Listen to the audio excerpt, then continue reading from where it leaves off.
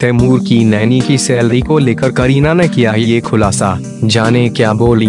करीना कपूर और सैफ अली खान के बेटे तैमूर अली खान अपने पेरेंट्स से भी ज़्यादा पॉपुलर हो गए हैं और साथ ही उनकी नैनी भी काफ़ी फ़ेमस हो गई हैं, जो हर वक्त तैमूर के साथ रहती हैं। कुछ दिनों पहले ये खबर आई थी कि तैमूर की देखभाल करने के लिए उनकी नैनी करीब एक दशमलव पाँच लाख रुपए सैलरी लेती है।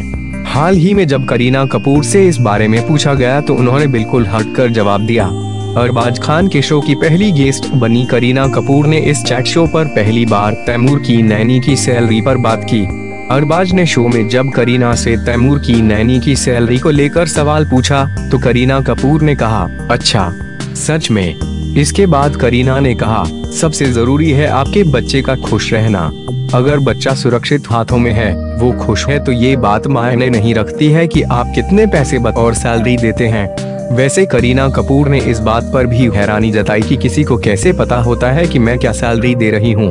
करीना ने अरबाज के शो में बताया कि तैमूर की सुरक्षा मेरे लिए सबसे ज़्यादा ज़रूरी है। ये मायने नहीं रखता है कि क्या फ़ीस दी जा रही है। हालाँकि अरबाज से बातचीत में करीना ने तैमूर की नैनी की सैलरी का खुलासा तो नहीं किया, लेकिन करीना के जवाब यह अंदाज लगाया जा सकता है कि नैनी की सैलरी चर्चाओं के आसपास ही हो। बता दें कि तैमूर का ख्याल रखने वाली नैनी का नाम सावित्री है।